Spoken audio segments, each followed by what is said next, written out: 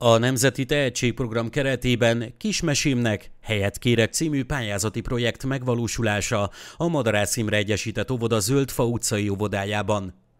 A miniszterelnökség megbízásából az emberi erőforrás támogatáskezelő által meghirdetett a speciális fejlesztés célzó programok támogatása című azonosítószámon szereplő NTP kötőjel SPEC kötőjel 22 kötőjel 0109 kismesémnek helyet kérek elnevezésű nyertes pályázat 2022. július és 2023. júniusa között valósult meg a Madarász Imre Egyesített Óvoda Zöldfa utcai óvodájában.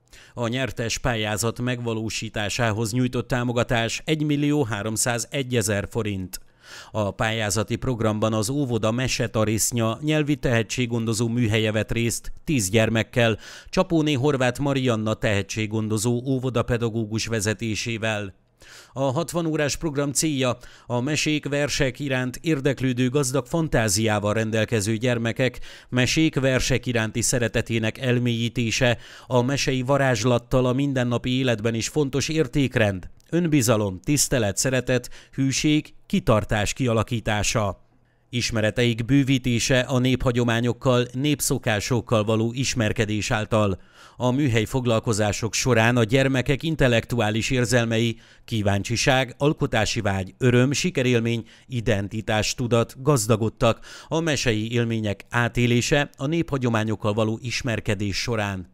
Az élményszerző gazdagító és lazító programok biztosították a projektek élmény és felfedező központúságát. Jártunk a Városi Könyvtárban, a Györfi István Nagykun Múzeumban, a Fazekasházban, a Földbevált kunyhónál, a közeli csatornaparton népi iparművészettel, gyöngyfűzéssel, korongozással, csuhébáb készítéssel, a kunhimzéssel is megismerkedhettek a gyermekek.